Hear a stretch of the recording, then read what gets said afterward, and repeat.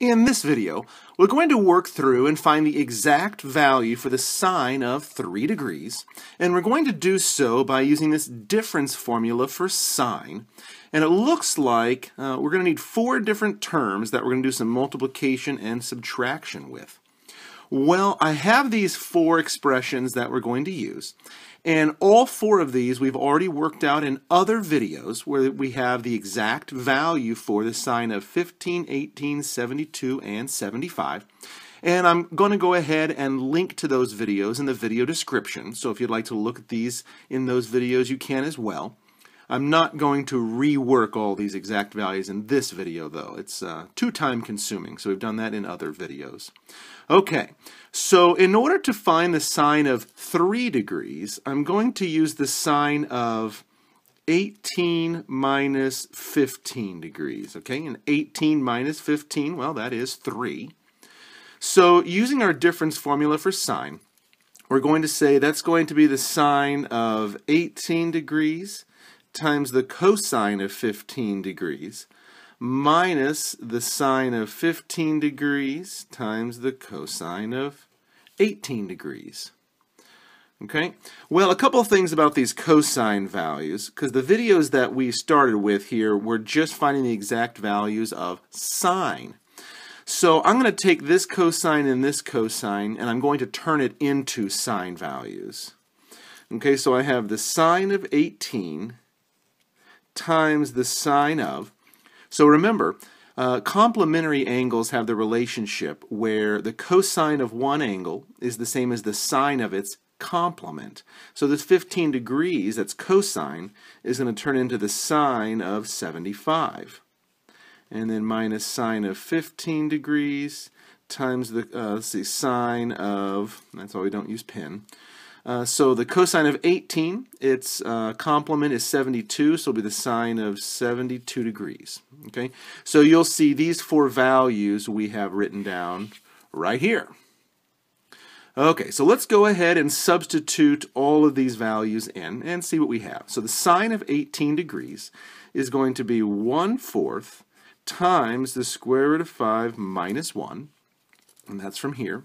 We're going to multiply that by the sine of 75, and that's going to be the square root of 6 plus the square root of 2 all over 4 minus the sine of 15 which is the square root of 6 minus the square root of 2 all over 4 and we'll multiply that by the sine of 72 which is the square root of 2 over 4 times this square root expression 5 plus radical 5. So here we go. We have the exact value for the sine of 3 degrees. And let's go ahead and kind of clean this up a little bit. I notice immediately I have, uh, let's see, a 4 times 4 is 16 in the denominator, and 4 times 4 is 16 in the denominator. So I could factor that 16 out just right at the beginning just to make things a little easier. Might, it might not stay this way at the end, but we'll start this way. And so here I have this square root of 5 minus 1 times the square root of 6 plus the square root of 2. So for now I'm just going to go ahead and put those in parentheses and leave it that way instead of multiplying it all out.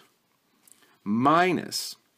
Okay, so this square root of 2, I can kind of back distribute that through. So it'll end up being the square root of 12 minus 2, and then times that, well, square root expression there. Okay, so what kind of cleanup can we do? Well, I could factor a 2 out because this square root of 12 actually becomes 2 radical 3. So I could factor a 2 out, and when I distribute this 1 16th back through, you have a little cancellation.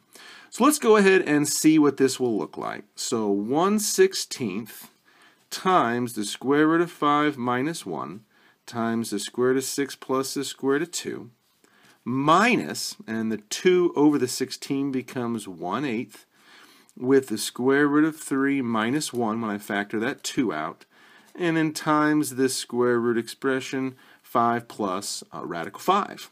So we're saying that this right here is the same as the sine of 3 degrees. Okay, well, this isn't, uh, you know, brilliant looking or really fabulous like the sine of 30, which is 1 half. But this is about as simple as we can get this, and this is the exact value for the sine of 3 degrees.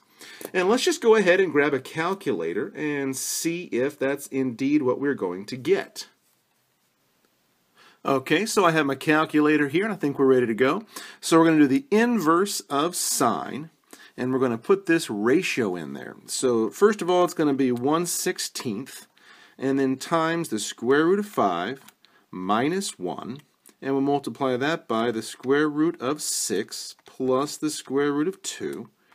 And to that, we're going to subtract, and then we have 1 eighth out front there with uh, square root of 3 minus 1. And we're going to multiply that by the square root of 5 plus radical 5. Close off all those parentheses, and we get ah, 3 degrees. So we do see that that ratio works. So here we see that we have the exact value for the sine of 3 degrees.